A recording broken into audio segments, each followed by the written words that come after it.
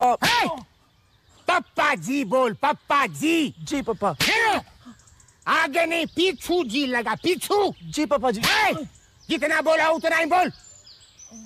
हे! चुप क्यों है? मुँह में जबान नहीं है क्या?